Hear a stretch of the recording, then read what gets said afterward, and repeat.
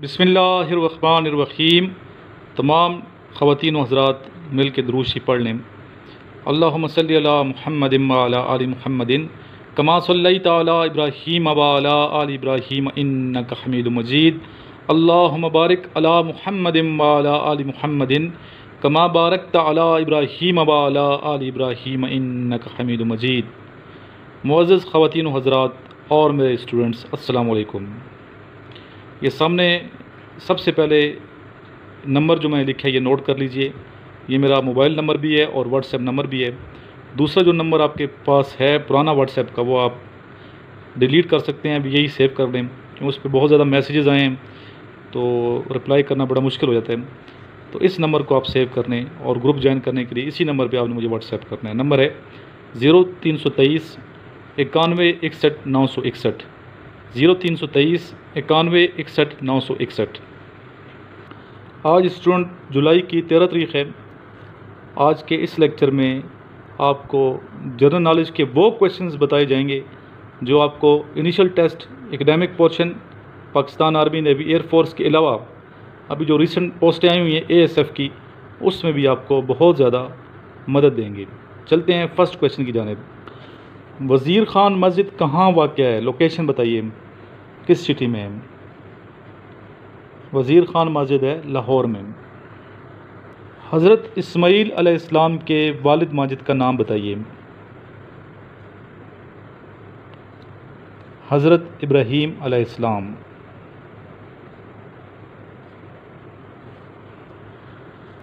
आखिरी गजबे का नाम बताइए। आखिरी गजबा कौन सा था? गजवा तबूक।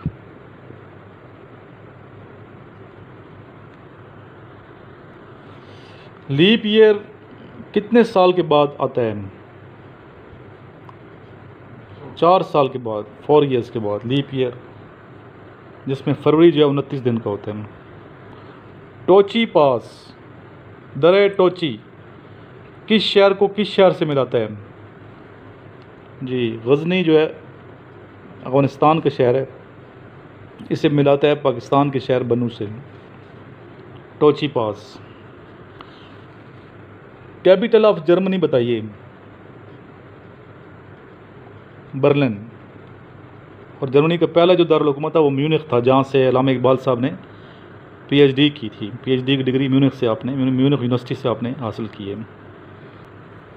किला रोहतास, जो कि बहुत बड़ा किला है, दीना के पास है, जलम दीना के पास। ये बताइए, किसने तामीर किया? किला तमीर किया या करवाया शेर शाह सूरी ने। जिन्होंने ये जीटी रोड भी बनवाया था। और शेर शाह सूरी के बारे में बहुत क्वेश्चन आ रहे हैं। ये पूछा गया है कि शेर शाह सूरी कहाँ पैदा हुए? तो इंडिया का शहर है ससारम वहाँ ये पैदा हुई हैं शेर शाह सूरी।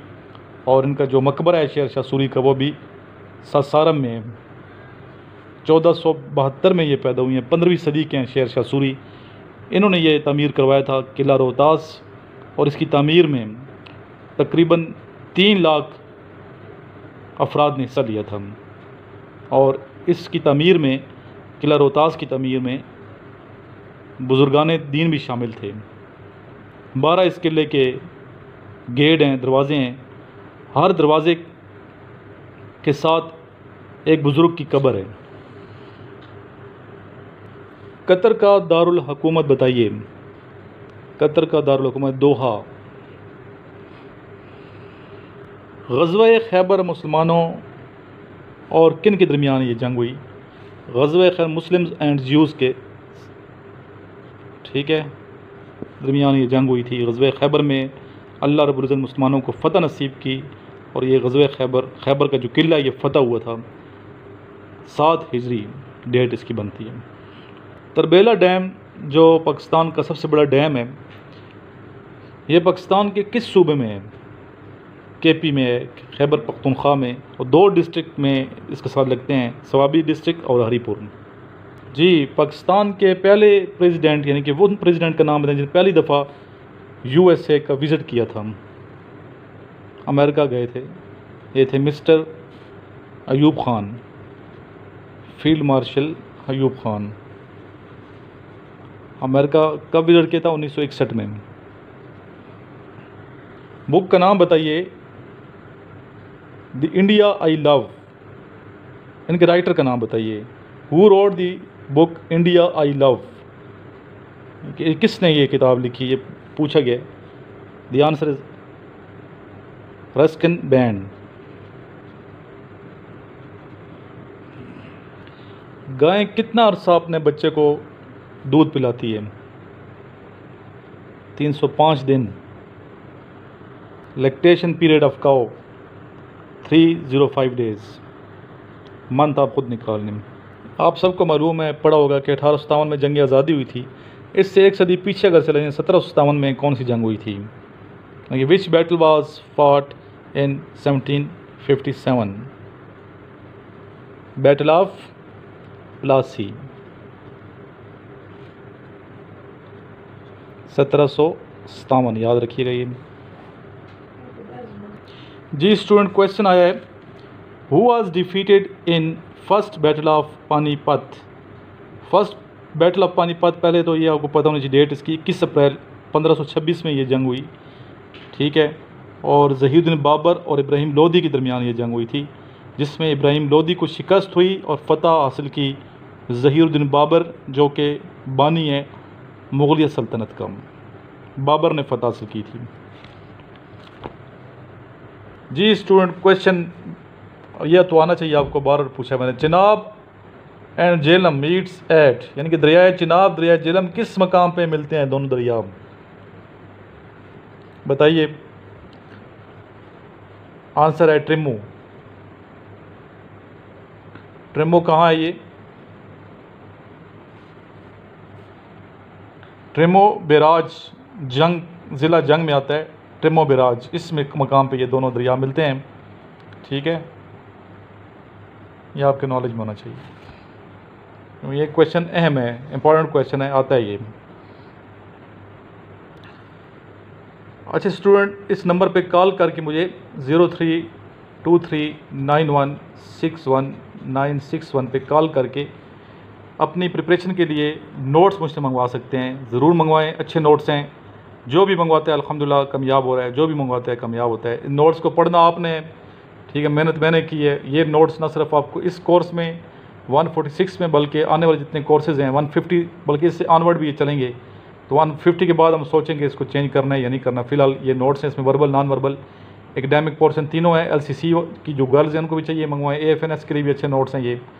और इसके अलावा ए के जो अभी स्टूडेंट्स टेस्ट देंगे सीटें आई हुई अप्लाई ज़रूर करें। ए की सीटें आई हैं, इसके अलावा बाकी भी पोस्टें आई हुई हैं ए में एयरपोर्ट सिक्योरिटी फोर्स अच्छी नौकरी है सैलरी अच्छी मिलेगी आपको। तो ज़रूर अप्लाई कीजिएगा और ये नोट्स मंगवाएँ। इन आप कामयाब होंगे। आइए मिल के एक मरतबा दरूशी पढ़ें। अल्लाह महमद आल महमदिन कमा सल्ला इब्राहीम वाला इब्राहीम इन हमीद मजीद। अल्लाह मबारक अला महमद आल महमदिन कमा बारक अला इब्राहीम वाला आल इब्राहीम इन हमीद मजीद। या इलाही मुल्क पाकिस्तान की हिफाजत फरमा दे। इसकी सरहदों की हिफाजत करने वालों की हिफाजत फरमा। या तमाम मुसलमानों को कामयाबी नसीब फरमा दे। दुनिया और आखिर में कामयाब फरमा। और जो स्टूडेंट्स मेहनत करते हैं, या इनकी मेहनत को ज़रूर इनकी मेहनत का इन्हें सिला अता फरमाना इन्हें कामयाबी अता फरमाना। और रेगुलर जो स्टूडेंट हैं, मेहनत कर रहे हैं, सुनते हैं मुझे या खसूस इन स्टूडेंट्स को बहुत ज़्यादा कामयाबी अता फरमाना। या नबी पाक सल्लल्लाहु अलैहि वसल्लम के सदक़े तमाम इंसानियत पर करम फरमा दे। जो आजकल वबा फैली हुई है, या इससे निजात दिला दे, दुनिया को छुटकारा नसीब फरमा दे। इस वबा से ज़िंदगी जीरण हो गई है तमाम इंसानों की।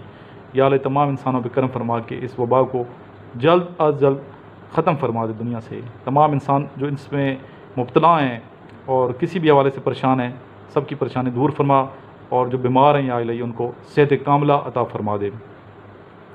अल्लाह मसल महमद आल महमदिन कमा सल्ली ताला वाला आल इब्राहीम हमीद मजीद। अल्लाह मबारक अला मुहम्मद वाला आल मुहम्मदिन कमा बारक ताला इब्राहीम वाला आल इब्राहीम इन्नक हमीद मजीद। बसमीम अस्सलाम वालेकुम जेंटलमैन। मेरा नाम आसिम ज़फ़र है और मेरा आज का टॉपिक है जी, मीडिया और करोना वायरस। मीडिया के ज़रिए ही हम अपनी तमाम तर मालूम एक जगह से दूसरी जगह बसानी पहुँचा सकते हैं, चाहे वो मुल्की हो या गैर मुल्की। इसके अलावा जो करोना वायरस है, ये एक बहुत बुरी वबा है। इस वबा के बारे में भी हमें मीडिया ने ही आगाह किया। मतलब ये कि हमने सोशल मीडिया के ज़रिए ही वो तमाम तर मालूम हासिल की। सोशल मीडिया ने ही उन तमाम लोगों को ये मालूम फ़राहम की कि ये वायरस है क्या? इस वायरस के नुकसान क्या हैं? इस वायरस के ज़रिए इंसानी ज़िंदगियों को क्या क्या नुकसान पहुँच रहे हैं? इस वायरस से बचने के लिए हुकूमत ने क्या क्या पाबंदियाँ की हैं? और हम किन किन इकदाम पर अमल करके इस वायरस से महफूज रह सकते हैं। इन तमाम मालूम को जो है मीडिया ने ही पूरी दुनिया में फैलाया। क्योंकि जो दूर दराज इलाकों में रहती हैं, बस्तियों में, गाँव में, वो नहीं जानते थे कि मतलब वायरस क्या इसके नुकसान क्या हैं। इन, उन तमाम तक इस मीडिया के ज़रिए ही, सोशल मीडिया के ज़रिए ही मालूम को पहुँचाया। इसके अलावा हमारे मुल्क में जो रोज़मर्रा ज़िंदगी में जो भी मसाइल होते हैं या जो बैरूनी मुल्क, मुल्कों में जितने भी मसले, मसाइल होते हैं, मजहबी सकाफ़ती, इन तमाम के बारे में मालूम जो है, ये मीडिया ही हम तक पहुँचाता है। अब तो आजकल जो नौजवान हैं, वो जहाँ पर भी कोई मतलब गैर कानूनी काम होते या कोई मसल कोई फसाद देखते हैं तो वो वीडियो बना लेते हैं और वीडियो को सोशल मीडिया पर अपलोड कर देते हैं। जो ये तमाम मालूम होती हैं, वो हर किसी के पास बासानी पहुँच जाती हैं। मतलब ये कि मीडिया के ज़रिए जो रोज़मर्रा जो मसाइल होते थे, जो गैर कानूनी काम होते थे, वो बहुत कम हो चुके हैं। मतलब माशरे से मीडिया ने बेशुमार मसाइल को जो है ख़त्म कर डाला है।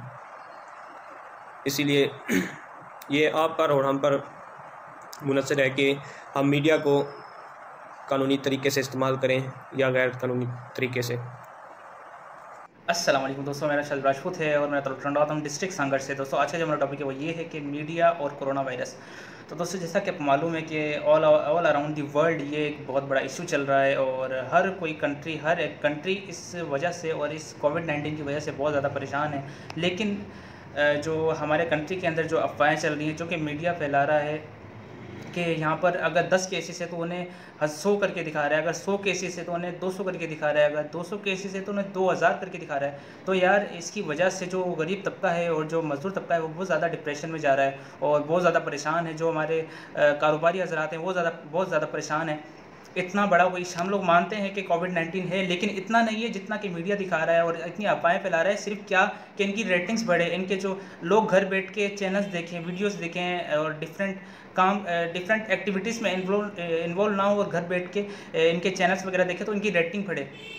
ये अगर अगर ये मकसद नहीं है कि उन्हें मीडिया को हमारे जो है वो इंडिपेंडेंट कर दिया गया है तो इसका ये मतलब नहीं है कि वो अफवाहें फैलाए और हमें लोगों को डिप्रेशन में डाले और लोगों को परेशानी में लोग परेशानी में मुबतला हों, जो कि पहले से बेरोज़गारी की वजह से परेशान हैं। उनको पहले से बहुत से इशू चल रहे हैं, लेकिन जो इनकी अफवाहें वो और ज़्यादा डिप्रेशन डालती हैं तो वो गलत काम करते हैं और ज़्यादा से ज़्यादा वो लोग खुदकुशियाँ कर लेते हैं तो मैं समझता हूँ कि जो हमारा जो इंडिपेंडेंट मीडिया है, ये बहुत ज़्यादा काम ख़राब कर रहा है। हमारे कंट्री के अंदर ये नहीं चाहता कि पाकिस्तान तरक्की करे, पाकिस्तान अच्छा ये जो बात होती है छोटी मोटी बातें होती हैं, इनको इस तरीके से पेश करता है कि यहाँ पर बहुत कुछ हो गया है, यहाँ पर बहुत से काम हो गए जो एक छोटी सी चीज़ होती है, उसको इतना बड़ा बना कर ये लोग पेश करते हैं। क्या सिर्फ़ और सिर्फ़ उनकी रेटिंग्स बढ़े, इनके लोग ज़्यादा से ज़्यादा इनकी वीडियोस देखें, इनके व्यूअर्स बढ़ें तो यही वजह है कि हमारा जो मीडिया है, वो पॉजिटिव वे में नहीं ले रहा है इस चीज़ को। और जो कोविड नाइन्टीन के केसेस हैं, उनको डबल ट्रिपल करके दिखा रहा है, जो कि सिंपल एक जो फीवर में मुबतला है, उससे भी कोविड नाइन्टीन की रिपोर्ट पॉजिटिव करार दी जाती है। और जब दो दिन बाद वो नेगेटिव होता है तो ये क्या है, ये मतलब इस तरीके से हम लोग चलेंगे, हमारे मुल्क की खातिर हम लोग इस तरीके से गद्दारी करेंगे या फिर इस तरीके से पेश आएँगे तो मैं नहीं समझता कि हमारा मुल्क कामयाब होगा और हमारे मुल्क को, अगर हमारे मुल्क को कामयाब होना है तो हर किसी को एक होना होगा, हर किसी को ईमानदारी और हिम्मत से काम करना होगा और अपने मुल्क के खातिर, अपने, अपनी आवाम के खातिर ईमानदारी से काम करना होगा तो मैं समझता हूँ कि ये कुछ पॉइंट्स थे दोस्तों, ये मेरा आज का टॉपिक था, अपना ख्याल रखिएगा, अल्लाह हाफिज़। Rahman Rahim, this is me Faisal Khan, I belong to Mansera, and today my topic is about media and coronavirus. Actually, if we look to the media, it is the bone of the world. Media is the pillar of the world, and all the world is dependent upon the media. because media created awareness in the society. Media aware to the people from the government. Media aware to the people from the world. What is happening in the world? So we get to information through media. What is uh, uh, what is the uh, uh, we can say figure out if anything if in case of voting in case of uh, covid-19 so we get such information through the media. That's why all the things and a lot of people uh, get awareness through the media and media created alert and awareness in our society. So media we can say it is the one things and the, which is uh, very uh, important for every country. And media should be free. This is also the responsibility of the uh, of the government. They should to let them free because if it is free so it's give to information too. And we must to do uh, support to the media. Through media we can understand about the uh, what is happening inside america. Through media we can understand uh, to the uh, every situation of the world. So that's why media is too necessary. Nowadays it especially an epidemic. We are starting to the uh, stopping uh, uh, with other people. We're starting to uh, go to and the crowd uh, we stop it. Why? Due to the, uh, the uh, media we learn about these other things so that's uh, my opinion about uh, that uh, topic. Thank you very much.